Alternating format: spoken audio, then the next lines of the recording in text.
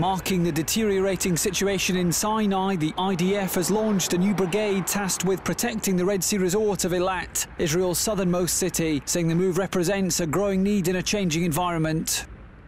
The creation of the Eilat Regional Brigade comes as Israel's border region with Egypt becomes increasingly volatile. Since the 2011 Egyptian Arab Spring Revolution, militant groups have increased their activity in the Sinai and numerous Al Qaeda militant groups have used the peninsula as a launch pad for attacks on Israel.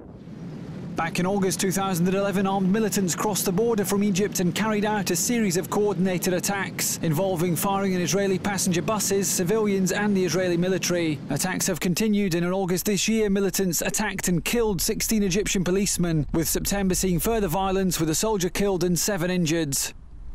Israel's now building a 266 kilometre fence along its porous border with Egypt, with the dual role of keeping out terrorists and African migrants. According to the 1979 Camp David peace treaty, the Sinai has remained a demilitarized zone. But since the fall of Hosni Mubarak, the area has become increasingly lawless. And for the first time, Israel has allowed Egypt to move soldiers into the Sinai to restore order.